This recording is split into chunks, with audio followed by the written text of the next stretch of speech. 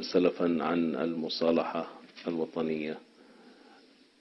ماذا برأيك وماذا تقول في العدالة الانتقالية؟ وكيف تكون المصالحة الوطنية فيما يتعلق تحديدا بمسألة مصراتة وتورغة؟ والله زي ما يقولوا عربنا يقولوا وريني حقي وشيت فيه النار.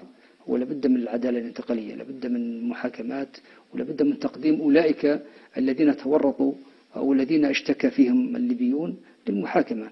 وعندما تصدر أحكام هناك صاحب الحق له أن يعفو وله أن يتمسك بذلك الحكم. ولكن يجب أن لا يعمم العقاب على النساء والأطفال وأيضا الرجال الذين لم يتورطوا في أي عمل. العقاب الجامعي هذا عقاب يعني عقاب غير غير غير قانوني وغير شرعي. وحتى المجتمع الدولي أنا أقولها للليبيين عندما صدر القرار 1973 صدر لحماية المدنيين. حماية المدنيين في ليبيا أيا كانوا.